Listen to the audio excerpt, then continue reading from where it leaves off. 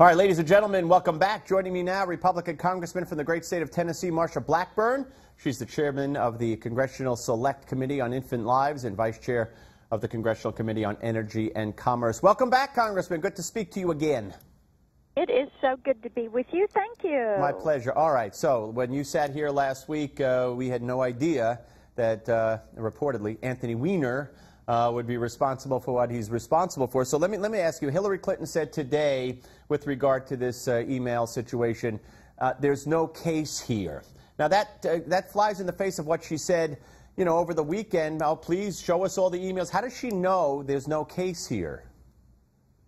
Well, I've got to tell you, I think it's pretty much impossible for her to know if there is a case or not because you would have to know what they have found in order to be able to make a determination if there was or was not a case.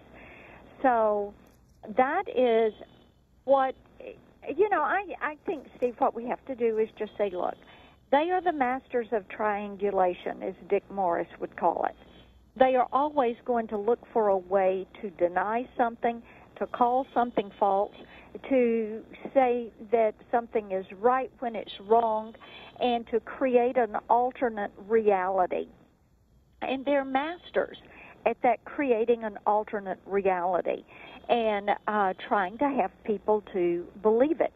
The problem is we know that Hillary Clinton does not know what is on that computer, and she does not know with what Huma and Anthony did with those 650,000 emails. Now, I would say this if Hillary Clinton does know what Huma and Anthony did with those 650,000 emails, they need to she needs to step forward immediately and say this is what they have and this is what they did with them. Yeah, and no, then no. everybody can make their mind up. A- absolutely. Uh, and all she has, if she wants to know what's in the emails, really all she had to do was uh, give Huma a call. But uh, along those lines, Congressman, the woman who is by Hillary's side and has been for 20 years, almost every day, uh, you know, even after she had her own child, she's there with Hillary. Uh, now she's not with Hillary. Today, when Hillary referred to the case, she said a staffer of mine. She didn't even name Huma by name, I don't believe. Could be wrong, but she did say a staffer. Uh, what do you think of uh, the absence from the campaign trail of Huma? How significant is that?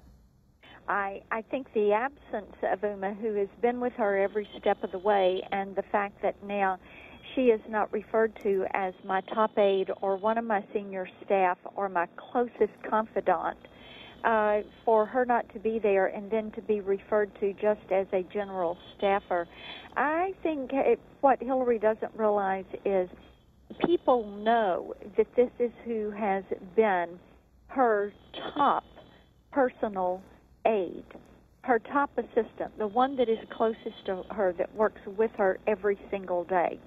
And I, I, I think it also, Steve speaks to the absence of loyalty from the Clinton campaign, that they would think that they can be that dismissive of someone who has been in their employ for years, whether it was the uh, State Department, being in the Senate or the State Department or uh, the foundation or whatever. She has been someone who has been right. at Hillary's side through all of that. Yeah, absolutely. Let me ask you finally the criticism of. Uh, of Director Comey, uh, some calling for his resignation, some saying uh, he broke the law. Uh, what's your take on what he did Friday?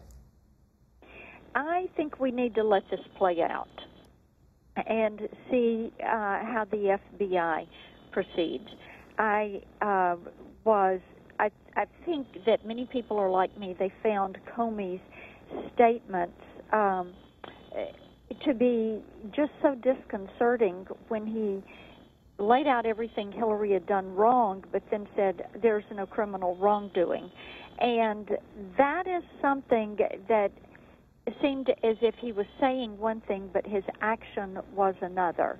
And at this point, I think we need to wait to hear from the FBI and see what we know, and and then we'll have a better idea um, of what we are, are dealing with. But at this point, I think we're kind of in a wait and see posture. I do Yep, think yep. it's important to realize.